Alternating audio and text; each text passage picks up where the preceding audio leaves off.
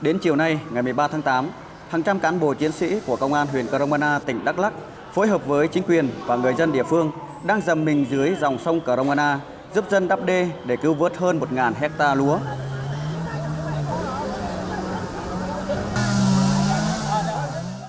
Kính thưa quý vị, các đồng chí và các bạn, à, tôi đang có mặt à, trên tuyến à, đê bao Quảng Điền, đoạn qua thôn 2, à, xã Quảng Điền, huyện Cromana, tỉnh Đắk Lắk. Và sau nhiều ngày mưa lũ, nước sông Cromana à, dâng lên cao và tuyến đê này đã gồng mình à, chống chọi với à, lũ dữ. Nhưng mà đến hôm nay thì à, chính thức là đã bị vỡ khoảng hơn 10 mét và bây giờ nước ở sông Cà Rông Na bắt đầu là tràn vào cánh đồng lúa của hai xã Bình Hòa và xã Quảng Điền của huyện Cà Rông Na và nguy cơ hơn 1.000 hecta lúa của người dân ở đây sẽ bị mất trắng bởi nước lũ. Trước đó, từ ngày 6 đến ngày 10 tháng 8, trên địa bàn huyện Cromana, tỉnh Đắk Lắk đã xảy ra mưa lớn. Mực nước sông Cromana dâng cao tràn qua đê bao Quảng Điền. Trong 3 ngày qua, người dân và chính quyền phải dùng hàng ngàn bao đất, cát để kè đê nhằm ngăn nước tràn vào đồng ruộng. Tuy nhiên, mọi sự cố gắng của người dân đã bị thủy thần vùi dập khi vào lúc 5 giờ sáng nay, một đoàn đê bao Quảng Điền khoảng 10 mét đã bị vỡ. Nhận được tin báo, Công an huyện Cromana đã huy động 100% quân số có mặt tại hiện trường để giúp dân đắp đê, ngăn lũ, cứu lúa.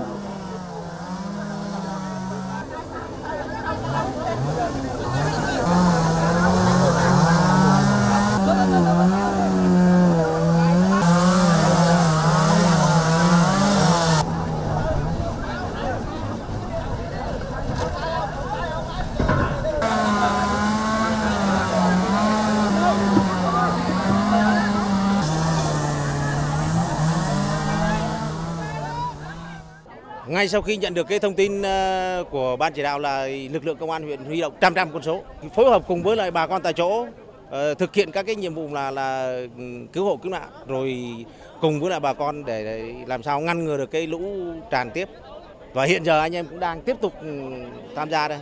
Tôi có hai rưỡi, mà bây giờ đã lúc lúa rồi còn cả mười mấy ngày nữa là thu, nhưng mà bây giờ lúc ấy rồi. Bây giờ mấy ngày này là chính quyền địa phương và nhân dân chúng tôi ngày đêm rất đực để chống lũ. Nhưng mà bây giờ nước cũng đang đi xuống, nhưng mà không ngờ là trong lòng đê này nó làm đê là không đổ trực tiếp. Chứ còn nếu đổ trực tiếp bê tông xuống là trục không rút vào là không có hiện tượng này xảy ra. Nên trục vào phá trong cái cái kẽ của bê tông đó, nước rò rỉ. Bây giờ nó bức, chúng tôi đang cứu nhưng mà không cứu bây giờ, chỉ còn không còn bao nhiêu hết rồi không còn nữa. Hiện nước sông Cromana đang đổ về nhấn chìm hơn 1.000 hecta lúa sắp cho thu hoạch của người dân ở hai xã Quảng Điền và Bình Hòa của huyện Cromana. Người dân và lực lượng chức năng địa phương đang gồng mình đắp đê, ngăn lũ, hòng cứu vớt phần nào diện tích lúa còn sót lại. Được biết, công trình đê bao Quảng Điền có tổng vốn hơn 300 tỷ đồng, được đưa vào sử dụng năm 2014.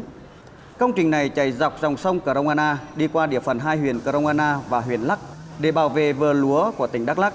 Tuy nhiên, nhiều đoàn đã xuống cấp, sạt lở